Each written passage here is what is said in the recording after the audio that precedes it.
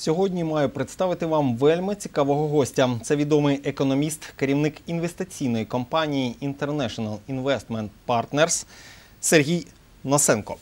Пане Сергію, я приветствую вас в городе Днепропетровске. И было бы логично спросить, с какой целью приехали Добрый вечер. Очень приятно. Я м- несколько лет уже не был в вашем городе, поэтому с удовольствием э, приветствую вас и поделюсь какими-то своими идеями, мыслями. Возможно, будет интересно слушателям э, порассуждать в дальнейшем об этом.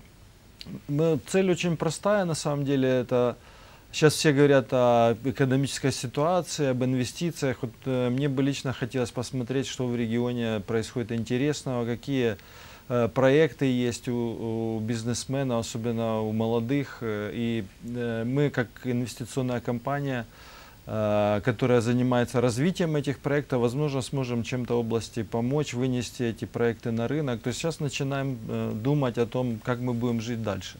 То есть вы приехали подставить плечо молодым и перспективным. Можно и так сказать. Можно и так сказать. Живем в достаточно сложное время, и многие это время называют кризисом.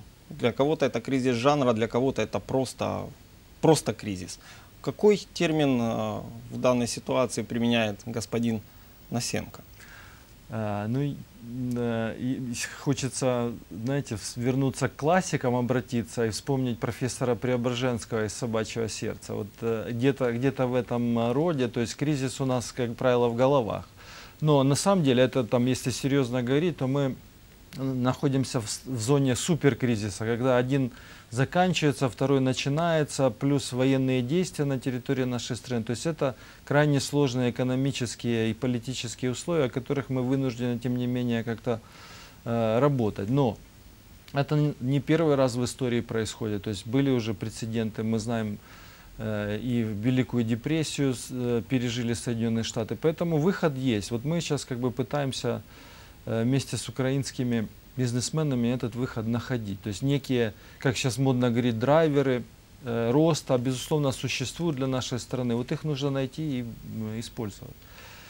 Предлагаю поговорить о таком понятии, как э, техническое правительство или украинскую техничный уряд. Но, насколько я знаю, вы против э, вообще такого понятия как такового. Если можно, объясните почему. А, ну вот вы, кстати, да, очень правильно перешли к этому, э, к этому понятию. Почему? Потому что сейчас многие это используют как некий рецепт э, э, от вот этого кризиса или суперкризиса, как я называю. На самом деле давайте подумаем, что такое технократы, что такое техническое правительство и, и с чем это вообще едят. Вот я, например, думаю, что э, техническое правительство у нас уже практически есть. То есть это правительство, которое не пользуется доверием граждан. Э, Это где есть фигуры не политические, например, такие как э, министр финансов, например, да, или министр экономического развития, или там, министр инфраструктуры, который позиционирует себя как неполитическая фигура. То есть мы уже имеем фактически на ключевых должностях технократов, то есть по сути не политиков, а наемных менеджеров.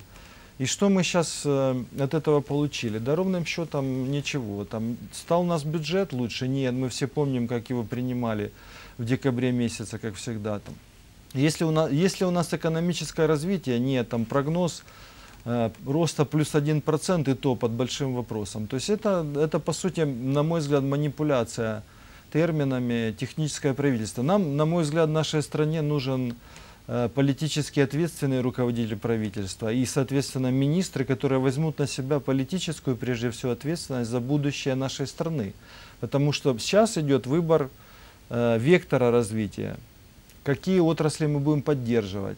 Задавали себе вопрос, уважаемые министры и власть в целом, э, куда, куда будем вкладывать деньги? Вот, например, да, мы сейчас будем проводить ряд встреч, встреч с бизнесменами в Днепропетровске. Наверняка э, прозвучат масса идей, но многие идеи потребуют э, поддержки, в том числе государства, да, потому что мы все понимаем, что в классике государство это э, тот орган, который стимулирует э, бизнес.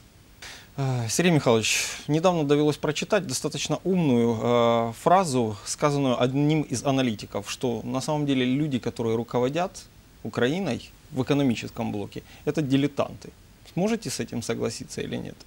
Ну, вы знаете, трудно э, давать такие оценки. Почему? Потому что это нужно быть с людьми знакомым. Э, Но тем не менее, если мы говорим о том, э, что у нас роста ВВП нет, хотя а, обещали 2016, что мы сейчас имеем? Судя, судя по действиям, вот если там э, ориентироваться на действия, что в общем-то правильно, да, то действительно это так.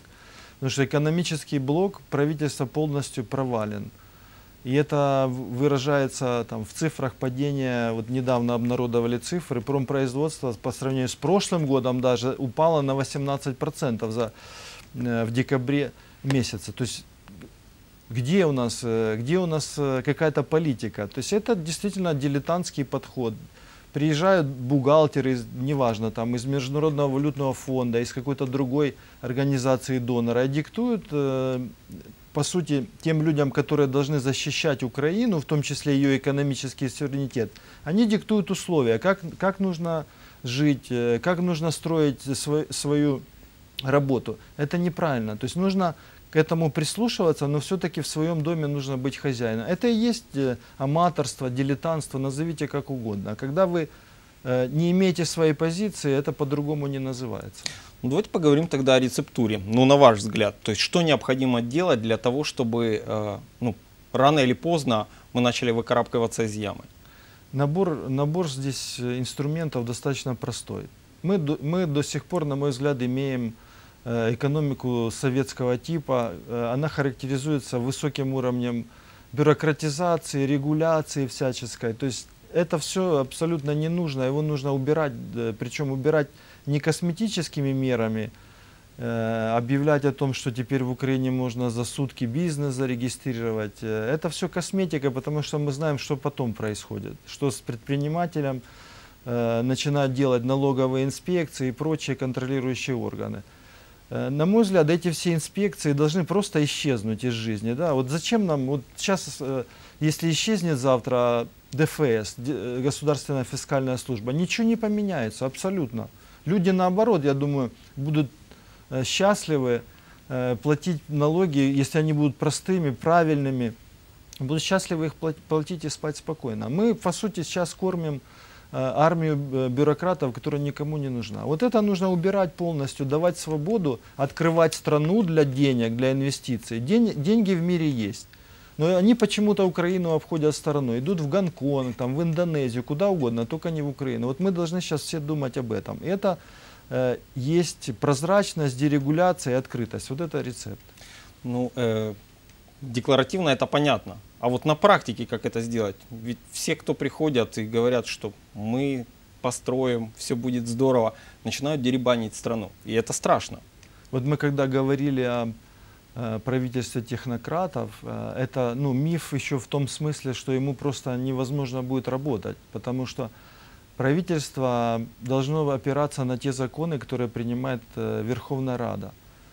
А как, э, если сейчас невозможно провести ни один закон, как э, технократы, то есть люди, которые не заинтересованы политической составляющей э, процесса, как они смогут какие-то законодательные акты проводить? Да никак, потому что та ситуация, которая сейчас в Раде существует, она блокирует всякое движение. То есть, на- наверное, очевидно, нужно подумать, как нам э, создать дееспособную Верховную Раду, ответственную. Э, Это будут выборы или это какой-то другой способ, там новая коалиция. Хотя я, в общем-то, лично не верю в том, что э, та Рада, которая за два года ничего не смогла создать, она сможет вдруг резко измениться и что-то сделать э, инновационное. Поэтому нужно молодым людям активно идти во власть, не бояться этого, заявлять о том, что э, нужно покончить с советским прошлым. Это будет э, самый эффективный метод э, преобразования страны. Косметика больше не работает. То есть мы, мы видим уже, да, вот сейчас, сейчас мы э, ехали из Киева на автомобиле, временами дорога отсутствует просто. То есть я понимаю, что за, за 40 лет там ничего не менялось, да, ее там, может быть, латали пару раз, но ничего не поменялось. И это, вот это ужасно, вот это, вот это плохо. То есть бюрократия, воспроизводящая сама себя, довела нашу страну до вот этого состояния, никто другой. То есть мы ее должны демонтировать через политические инструменты. Ну, если говорить, косметика не подходит, значит, нужны хорошие хирурги. А есть ли они в Украине на самом деле? Я думаю, есть. Есть э, много молодежи. Мы все знаем, что, например, Э, пример той же Грузии, да, которым сейчас Украина активно пользуется. Там, да, действительно молодые люди в свое время делали точечные хирургические операции по отраслям, вскрывали гной- гнойники так называемые. Они, да, они учились в Гарварде.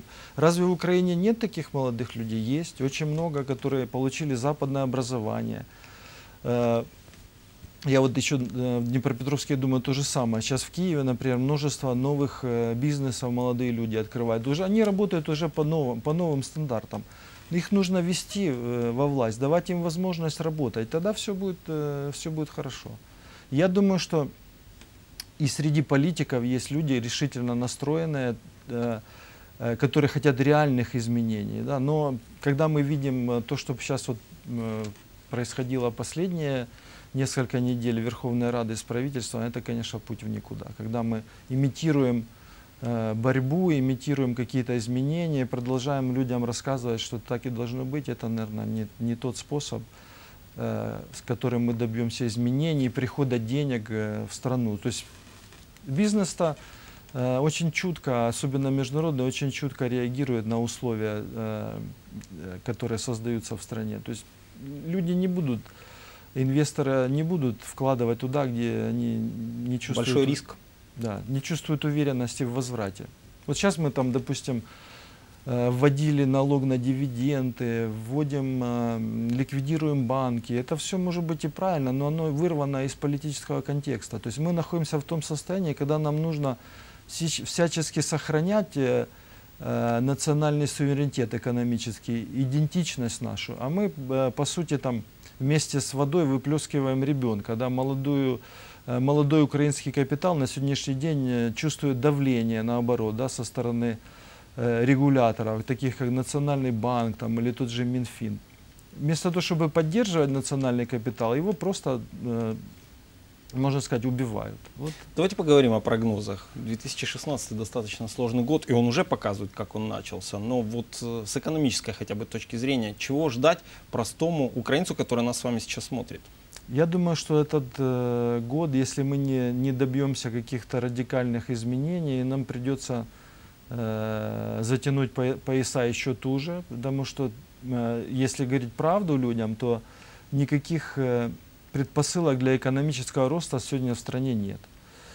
Э, нет кредитования, то есть регулятор, это как для примера, да, регулятор на сегодняшний день драконовские меры на банковском рынке приводят его к тому, что кредитовать экономику банки не могут. Э, Нет, нет денег, соответственно, нет, э, нет рабочих мест, нет роста зарплат. Вот как бы такой простой круг. Внешние рынки плохие, мы все знаем, традиционные рынки украинские это химия, металлургия, агропродукция, они все сейчас находятся в не очень хорошем состоянии. Цены упали, производство везде стагнирует. Вы видите, что происходит э, в энергетическом секторе, цены на нефть падают. То есть это будет непростой год, поэтому необходимо нам находить на сегодняшний день, э, я не знаю, методом э, мозгового штурма собирать экспертов и думать, э, куда Украина может встраиваться в эту систему международного распределения труда. Причем это нужно делать уже сейчас, иначе мы будем активно идти вообще к экономическому коллапсу, на мой взгляд. Блиц-вопрос, блиц-ответ. На ваш взгляд, пациент Украина с экономической точки зрения скорее жив или скорее Пока еще жив, пока еще жив, пока еще есть возможность его спасти. Вот, собственно говоря, мы поэтому и здесь не оставляем надежду, приезжаем в регионы и э, будем э, иностранное, западное экономическое инвестиционное сообщество убеждать в том, что все-таки нужно идти, нужно работать, несмотря ни на что, помогать э, молодежи э, новой Украине становиться на ноги. Дякую, що знайшли змогу і завітали до нас. Слава Україні! Героям слава, дякую. Ну а нашим глядачам нагадаю, що у гостях 9 каналу був керівник інвестиційної компанії Invest International Investment Partners Сергій Насенко.